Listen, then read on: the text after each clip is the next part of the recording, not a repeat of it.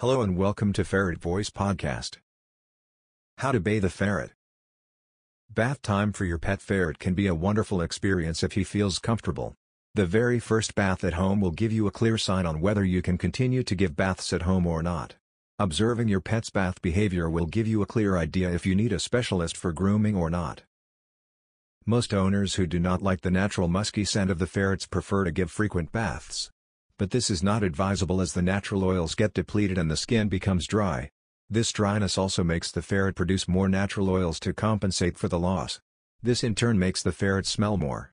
A good tip to avoid strong odor from your ferret is to keep the cage clean and clear out the litter often. Many veterinarians recommend pet owners to give their ferrets a bath once in a couple of months. Unless your ferret becomes dirty often, it is advisable to avoid giving regular baths. While giving your pet a bath at home do keep a couple of treats handy. The treats will help you to calm your pet down if he starts to resist your bathing efforts. Here are a few things that you should keep in mind before giving your ferret a home bath. 1. The temperature of the bath water. Make sure that the temperature of the bath water is warm and not hot.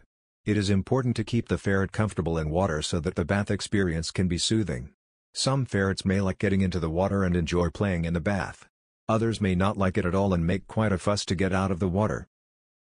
If your ferret is not happy with taking a bath, try to distract it with a few bath toys. Remember to talk in a soothing tone as your pet will pick up your emotions and act the same. To avoid making the bath experience difficult always remain calm and composed. 2. Rubber mat. Using a tub or kitchen sink is a great idea to give a bath to your ferret. Give your pet a good foothold to make him feel secure for the bath.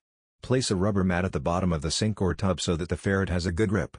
A rubber mat allows the ferret to stand or move around the bath area without losing balance. Thanks for listening ferretvoice.com podcast.